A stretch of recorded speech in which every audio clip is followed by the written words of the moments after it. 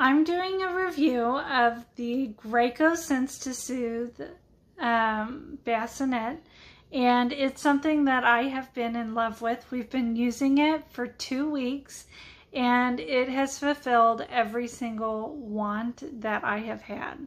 Um, with my last daughter, we used the Rock and Play, and those have since been recalled, so we couldn't use that this time. And I was looking all over the internet, and they were either way too expensive or they just had not so great reviews. Um, this one didn't have very many reviews at the time that I was looking. And so I was really just going on a prayer and hoping that it was great.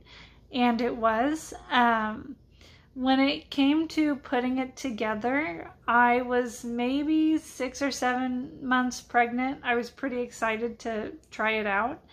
Um, and I was able to do it by myself. It took me maybe um, an hour, but I mean, if you're not pregnant, it might not take as long.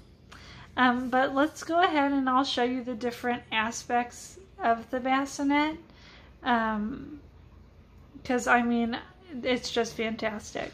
This is the bassinet from a distance, and you'll notice that the back legs have wheels. Um, it does make it easier to move around. I don't know how much I would say you could move it from room to room because it does rock and I have not seen a way to lock it. Um, but it has this canopy which we use just because our room is has quite a bit of light in it. And then the mattress is firm enough for a baby, obviously, but it's still comfortable. It doesn't feel like cardboard like uh, other bassinets that I've seen.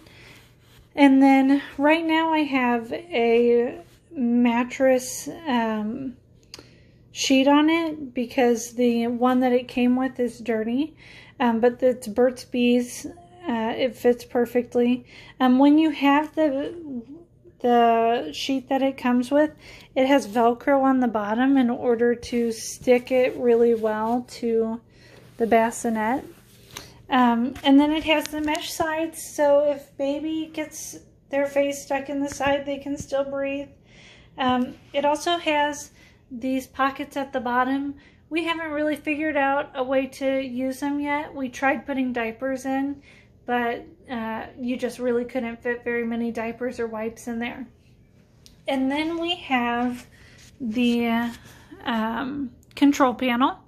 And so you have the power button and right now I have it set on stuff. Okay, so um, this, you don't have to have the light. There's three different settings for the light.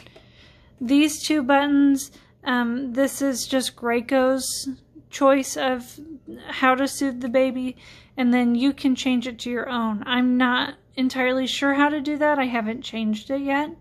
Um, but when it's hears your baby crying, um, this little face will turn green and then it will start uh, its own soothing process. Um, it does not work for like little whimpers. So I'm a pretty light sleeper and when my daughter whimpers, I wake up very easily. And so it hasn't really gone uh, to those settings very often, maybe once or twice in the last two weeks. But so for the settings, we have three settings for speed. So the first setting is this. And then if we move it to the second setting, it's a little bit faster, not much. The third setting I feel like is the most difference. Um, I normally set it at the second setting at nighttime. And then we have the vibration. So the vibration is kind of loud. You're I'm a light sleeper and I'm able to tune it out. But so this is the first setting for vibration. I don't know if you can hear that. Um, then there's a second setting, which is just a little bit harder. Um, so uh, we also have some sounds. Um, the speaker quality is not fantastic, but my baby doesn't seem to care and I'm able to tune it out. So this is just music.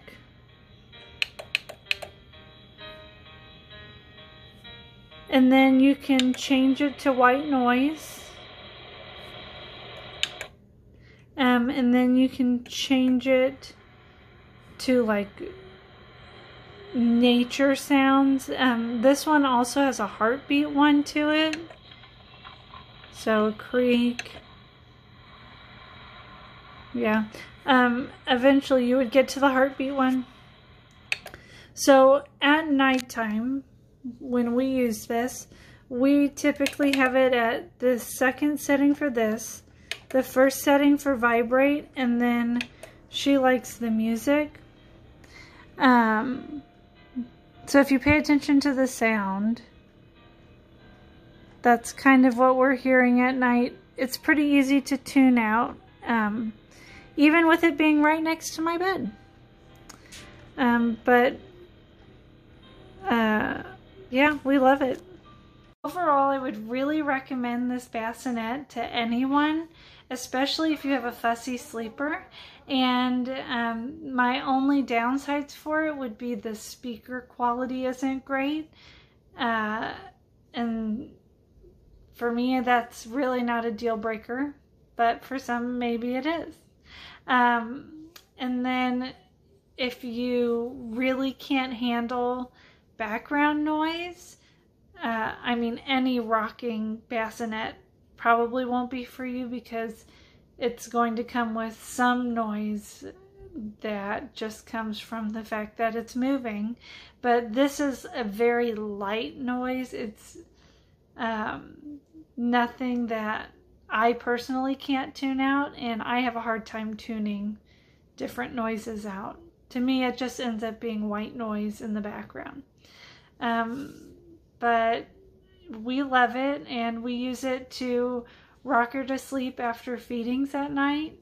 Um, we typically keep it still for nap time and when we put her to bed at night. So I'm not too worried about uh, weaning her off of it once she, once she grows out of it.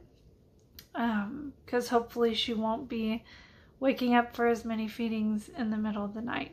Um, but I hope this was helpful.